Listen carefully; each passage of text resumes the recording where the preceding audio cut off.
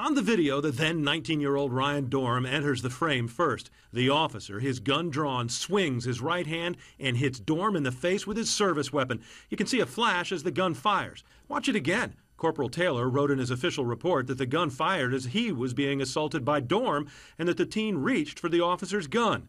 Attorney Jim Bell represents Ryan Dorm. The video shows that he attacked my client, hit him in the head with a gun. The incident happened in February in Brentwood when Taylor and his partner spotted Dorm and a friend walk into this gas station. The officers felt a robbery was about to happen and entered the store. No crime was committed, but Dorm says he walked away to avoid trouble. This scene played out a couple blocks away as Dorm walked home.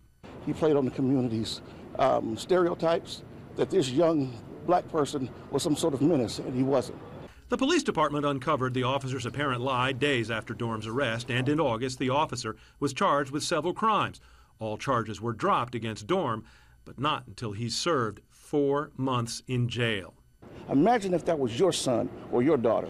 The police chief in Prince George's County has vowed transparency and to eliminate police brutality, but people we showed the video oh.